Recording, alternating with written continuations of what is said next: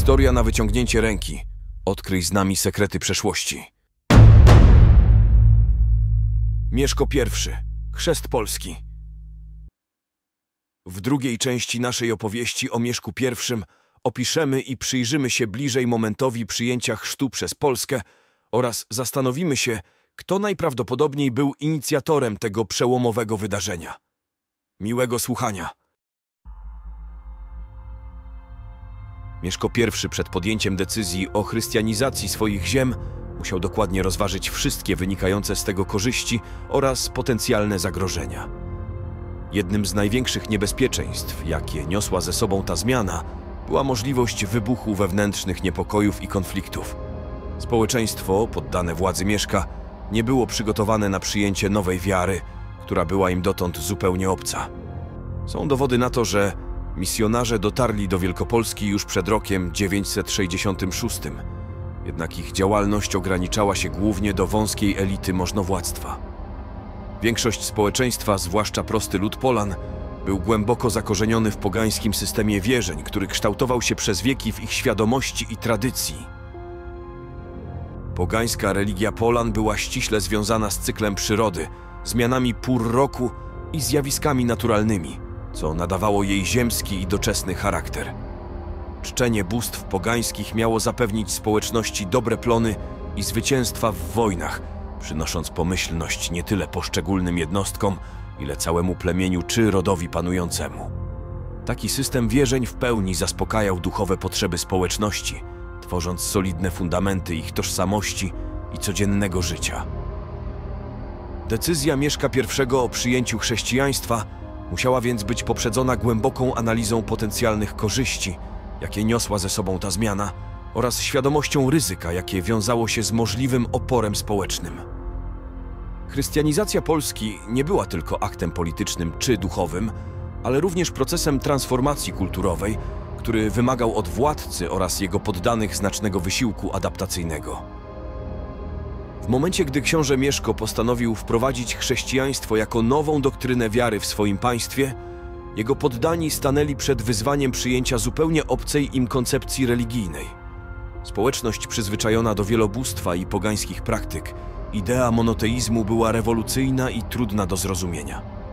Pogańska religia Słowian nie charakteryzowała się wyłącznością, czcili oni własne bóstwa, ale nie zaprzeczali istnieniu innych. W ich rozumieniu, jeśli jakieś plemię odnosiło sukcesy w boju, nic nie stało na przeszkodzie, aby oddać cześć również jego bogom, przypisując im moc i siłę. Zderzenie z chrześcijańskim monoteizmem, głoszącym wiarę w jednego Boga w trzech osobach Ojca, Syna i Ducha Świętego musiało być czymś szczególnie zagadkowym i trudnym do zrozumienia. Koncepcja Trójcy Świętej była daleka od ich dotychczasowych przekonań i praktyk religijnych. W tym kontekście trudno przypuszczać, aby natychmiast byli w stanie zrozumieć i zaakceptować taką doktrynę jako pewnik. Książę musiał zmierzyć się z nieuniknionym oporem, który wynikał z trudności przekonania ludności do porzucenia głęboko zakorzenionych w kulturze i tradycji pogańskich wierzeń. Wyzwanie to było szczególnie skomplikowane ze względu na istnienie wpływowej grupy pogańskich kapłanów, wobec których przyjęcie nowej religii oznaczało utratę dotychczasowej roli społecznej, autorytetu, a tym samym źródła wpływów i władzy. Ci kapłani, będący strażnikami pradawnych obrzędów i wierzeń, mogli stanowić znaczące zagrożenie procesu chrystianizacji, a nawet bezpośrednio mogli uderzać w samego Mieszka i jego władzę. Ich opór nie był tylko kwestią duchową, ale miał również wymiar polityczny i społeczny. Utrata przez nich statusu i wpływów mogła skłonić do organizowania opozycji przeciwko księciu, co w konsekwencji mogło prowadzić do poważnych niepokojów wewnętrznych i zagrożeń stabilności państwa. Mieszko, decydując się na chrystianizację, musiał więc nie tylko przekonać swoich poddanych do nowej wiary, ale także znaleźć sposób na zintegrowanie pogańskich elit religijnych z nowym porządkiem, co wymagało od niego nie tylko determinacji, ale również dyplomacji i strategicznego planowania. Proces ten nie był prosty i wymagał od księcia polskiego zarówno wizji, jak i umiejętności zarządzania zmianą kulturową i religijną w swoim państwie.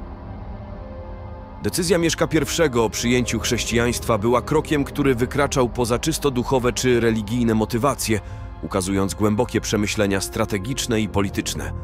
Książę Polski, z pełną świadomością zmieniających się realiów geopolitycznych swoich czasów, rozumiał, że pogaństwo staje się przeszkodą w pełnej integracji jego państwa z resztą Europy. Świadomość, że pozostanie poza chrześcijańskim kręgiem kulturowym i politycznym Europy ograniczałoby możliwości dyplomatyczne i dynastyczne, była kluczowym czynnikiem motywującym do tej zmiany. Mieszko zdawał sobie sprawę, że rozwój jego państwa wymagał nie tylko silnej armii, ale również ludzi wykształconych, którzy mogliby wspierać administrację i gospodarkę. Zachód, a w szczególności Kościół, dysponował zasobami intelektualnymi i edukacyjnymi, które mogły przyczynić się do rozwoju jego państwa. Przyjęcie chrześcijaństwa otwierało drzwi do tych zasobów, jednocześnie umożliwiając Mieszkowi wyprzedzenie inicjatyw chrystianizacyjnych niemieckiej metropolii magdeburskiej, co miało również wymiar strategiczny w kontekście regionalnych rywalizacji i podporządkowania. W świecie pogańskim pozycja władcy była znacznie mniej stabilna niż w chrześcijańskiej Europie. Władca, będący naczelnikiem ludu, często zależał od plemiennej starszyzny i był wybierany na czas określonych potrzeb, na przykład na czas wojny. Jego status nie był specjalny, a za jego zabicie sprawca mógł uniknąć kary, płacąc grzywnę, tak zwaną główczyznę. Oczywiście dużo wyższą niż za zabicie zwykłego człowieka. Przeciwieństwie do tego w świecie chrześcijańskim atak na władzę uznawano za zbrodnię i śmiertelny grzech, ponieważ panujący był postrzegany jako namiestnik Boga na ziemi. Takie sakralne namaszczenie nadawało władcy chrześcijańskiemu nieporównywalnie większą dominację niż jakikolwiek przywódca plemienny mógł osiągnąć w świecie pogańskim. Chrzest Mieszka i przyjęcie chrześcijaństwa umacniały jego pozycję władzy, jednocześnie oferując narzędzie do unifikacji i stabilizacji społeczeństwa. Religia pogańska z jej decentralizacją i partykularyzmem, gdzie każde plemię czciło własnych bogów, nie sprzyjała jednolitemu systemowi rządów, prawa i wartości. Chrześcijaństwo z jednolitym kultem religijnym i podniesieniem jednego władcy w imieniu Boga stanowiło potężne narzędzie ideologiczne, równie ważne wobec utrzymania władzy, co silna armia. Dzięki tej unifikacji Mieszko zyskał fundamenty niezbędne do konsolidacji swojej władzy i dalszego rozwoju zjednoczonego państwa. Chrzest Polski miał miejsce w roku 966, najprawdopodobniej w Wielką Sobotę, która przypadała na 14 kwietnia. Lokalizacja tego przełomowego momentu w historii Polski jest przedmiotem licznych hipotez i debat naukowych. Wśród rozważanych miejsc wymienia się Ratyzbonę i Pragę. Argument za Ratyzboną opiera się na tym, że Czechy w tamtym okresie nie posiadały jeszcze własnego biskupstwa i podlegały kościołowi bawarskiemu, co czyniłoby biskupa z Ratyzbony potencjalnym duchowym patronem chrztu Polski. Jednakże istnieje przekonanie, że chrzest władcy musiał mieć charakter publiczny, aby podkreślić jego znaczenie i zapewnić widoczność tego wydarzenia wobec poddanych. Tym samym bardziej prawdopodobne wydaje się, że chrzest odbył się na terenie państwa Mieszka. Wśród potencjalnych lokalizacji wymienia się Poznań, Ostrów Lednicki oraz Gniezno. Gniezno jako główny ośrodek polityczny i ideologiczny państwa Mieszka wydaje się miejscem najbardziej prawdopodobnym. Z drugiej strony Ostrów Lednicki, gdzie archeolodzy odkryli pozostałości mis chrzcielnych, również jest brany pod uwagę, choć argument przeciwko temu miejscu opiera się na tym, że mało kto mógłby tam być świadkiem chrztu. Poznań zaś jest wspominany w kontekście wzmianki w XIII-wiecznej kronice polsko-śląskiej, która sugeruje, że to właśnie tam Polska przyjęła chrześcijaństwo. Mimo licznych badań i teorii, dokładna lokalizacja chrztu Mieszka pozostaje kwestią otwartą i prawdopodobnie nigdy nie zostanie jednoznacznie rozstrzygnięta. Ceremonia chrztu władcy, jaką przeszedł Mieszko, otoczona jest aurą tajemnicy i spekulacji – jednak pewne światło na możliwy przebieg tego wydarzenia rzuca anegdota z VII wieku dotycząca księcia Radboda, władcy pogańskich Fryzów. Radbod, będąc na progu przyjęcia chrześcijaństwa, cofnął się w obliczu pytania o los swoich przodków w zaświatach, co ilustruje głębokie dylematy duchowe związane z przejściem na nową wiarę oraz samą ceremonię wejścia do wody całym ciałem przez Radboda. W kontekście ówczesnych praktyk chrzcielnych istotne jest zrozumienie, że samo polanie głowy wodą mogło nie być wystarczające. Wymagane było pełne zanurzenie, co sugeruje, że Mieszko również musiał poddać się takiej formie obrzędu. Zanurzenie w basenie kościelnym było symbolicznym aktem odrzucenia starego życia i narodzin do nowego w świetle chrześcijańskiej doktryny. W przypadku tak wybitnej postaci jak Mieszko, obrzęd chrztu musiał być przeprowadzony przez biskupa, co podkreślałoby rangę tego wydarzenia. Dodatkowo Mieszko mógł jednocześnie przyjąć sakrament bierzmowania, co jeszcze bardziej wzmacnia tezę o konieczności obecności biskupa. Konsekracja kościoła, w którym odbywał się chrzest, również wymagała uprawnień biskupich, co prowadzi do pytania o tożsamość tego, który przewodniczył samej ceremonii. Jordan, który później stał się pierwszym biskupem na ziemiach polskich, jest często wymieniany jako potencjalny kandydat. Jego oficjalne wysłanie do państwa Mieszka przez stolicę apostolską datowane jest na rok 968, jednak nie można wykluczyć, że mógł on przybyć do Polski wcześniej. Być może w orszaku księżniczki Dobrawy, która zawarła małżeństwo z Mieszkiem rok przed chrztem. Ustanowienie własnego biskupstwa na ziemiach polskich zaledwie dwa lata po chrzcie Mieszka I stanowiło niezwykły sukces dyplomatyczny i organizacyjny. W porównaniu Czechy, które przyjęły chrześcijaństwo znacznie wcześniej, otrzymały swoje pierwsze biskupstwa w Pradze i Ołomuńcu dopiero w roku 973. Ta szybka instytucjonalizacja kościelna w Polsce wskazuje na znaczące zaangażowanie Mieszka w integrację swojego państwa z chrześcijańską Europą oraz na jego zdolności negocjacyjne. Wśród historyków trwa jednak debata na temat charakteru i struktury tego wczesnego polskiego biskupstwa. Profesor Gerard Labuda, wybitny znawca historii, przedstawił teorię, według której było to biskupstwo misyjne, utworzone na okres przejściowy, bez wyraźnie określonych granic diecezjalnych i stałej stolicy. Zgodnie z tą koncepcją, pierwszy biskup na ziemiach polskich nie podlegał żadnej metropolii, lecz bezpośrednio stolicy apostolskiej, co podkreślałoby specjalny status i niezależność polskiego kościoła w tym okresie. Przeciwnicy tej hipotezy argumentują, że powstała normalna diecezja, obejmująca całe państwo Mieszka I, z wyraźnie określoną stolicą i katedrą biskupią. Jako potencjalną siedzibę biskupstwa najczęściej wskazuje się Poznań, co znajduje oparcie w źródłach niemieckich, które kilkakrotnie określają Jordana, a także jego następcę, Ungera, mianem biskupów poznańskich. Alternatywnie za możliwą siedzibę biskupstwa uznaje się również Gniezno, choć w tej kwestii brak jest jednoznaczności. Proces chrystianizacji ziem polskich, zapoczątkowany przez Mieszka, był przedsięwzięciem długotrwałym i złożonym, co podkreśla niemiecki kronikarz Titmar z Merseburga, zauważając, że zadanie to wymagało od biskupa Jordana znacznego wysiłku. Pierwsze etapy chrystianizacji, obejmujące dwór książęcy oraz osoby bezpośrednio zależne od władcy, prawdopodobnie przebiegały stosunkowo sprawnie i bez większych zakłóceń. Jednakże im dalej od centrum władzy, tym proces ten napotykał większe trudności. Rozległość państwa polskiego i ograniczone możliwości komunikacyjne stanowiły poważne wyzwanie wobec efektywnej chrystianizacji. W słabo zaludnionym i gęsto zalesionym kraju działalność misyjna była utrudniona przez brak wystarczającej liczby duchownych.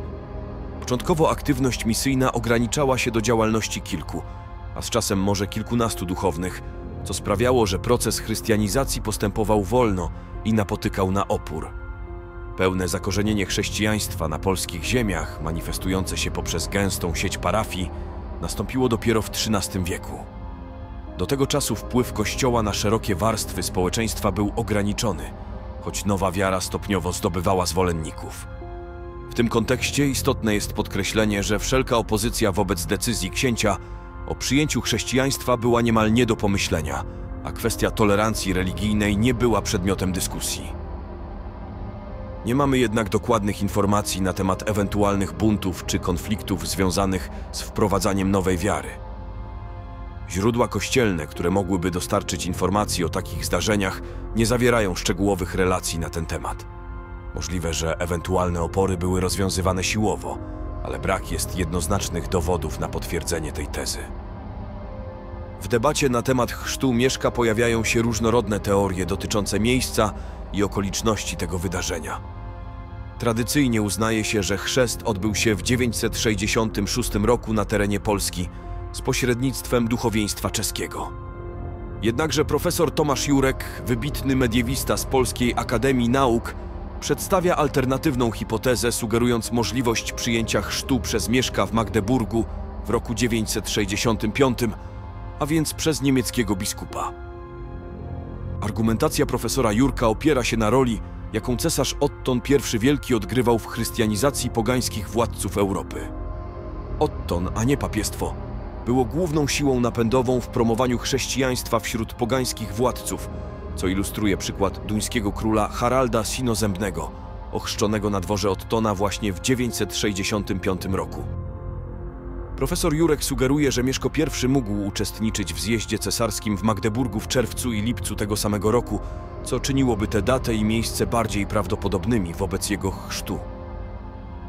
Ponadto profesor Jurek podnosi kwestię sojuszu negocjowanego przez Mieszka z cesarzem przeciwko poganom wieleckim w 965 roku, argumentując, że chrzest i sojusz polityczny mogły być ze sobą ściśle powiązane. Wątpliwości co do czeskiego pośrednictwa w chrzcie Mieszka wynikają z faktu, że w tamtym czasie Kościół czeski nie posiadał własnego biskupstwa i podlegał biskupowi z Ratyzbony. Zdaniem profesora Jurka, przyjęcie chrztu przez Mieszka za pośrednictwem Czechów byłoby równoznaczne z wejściem do chrześcijaństwa tylnymi drzwiami.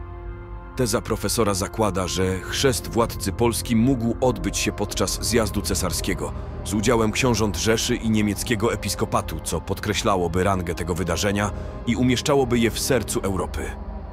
Hipoteza ta rzuca nowe światło na dyskusję o początkach chrześcijaństwa w Polsce, sugerując bezpośredni wpływ cesarstwa niemieckiego na ten proces. Historiografia często akcentuje znaczącą rolę, jaką odegrała księżniczka czeska Dobrawa w procesie chrystianizacji Polski, zwłaszcza poprzez jej małżeństwo z Mieszkiem. Wobec tego przedstawmy w kilku zdaniach pierwszą chrześcijańską żonę księcia.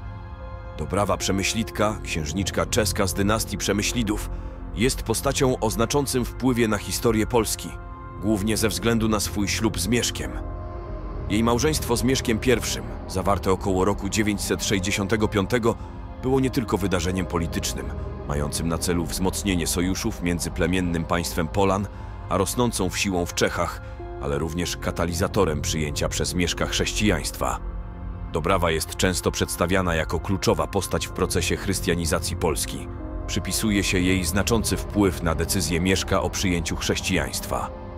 Choć szczegóły dotyczące jej życia są ograniczone i niekiedy oparte na późniejszych legendach, Dobrawa jest przedstawiana jako kobieta o silnej woli i głębokiej wierze. Jej rola jako pośredniczki i doradczyni w sprawach religijnych i politycznych mogła być kluczowa w początkowym okresie kształtowania się państwowości polskiej oraz w procesie konsolidacji władzy Mieszka. Małżeństwo z Dobrawą, oprócz aspektów politycznych, miało również wymiar symboliczny, łącząc pogańskie ziemie polskie z chrześcijańskim światem Zachodu, co było istotnym krokiem na drodze do budowania tożsamości państwowej Polski w oparciu o chrześcijańskie wartości i europejskie wzorce. Mimo licznych hipotez i badań historycznych, prawdziwe okoliczności chrztu Polski, w tym tożsamość biskupa przewodniczącego ceremonii oraz dokładne miejsce tego wydarzenia, prawdopodobnie nigdy nie zostaną poznane w pełni. Różnorodność teorii, od lokalizacji w Polsce po możliwe miejsca za granicą oraz dyskusje na temat pośrednictwa czeskiego czy niemieckiego w procesie chrystianizacji podkreślają złożoność tego zagadnienia. Jednakże niezależnie od tych niepewności, nie ulega wątpliwości, że chrzest Polski w 966 roku był momentem przełomowym, który zainicjował proces integracji z chrześcijańską Europą, stanowiąc fundament przyszłego zjednoczonego państwa polskiego i kształtując jego tożsamość kulturową oraz polityczną na kolejne wieki. Koniec części drugiej.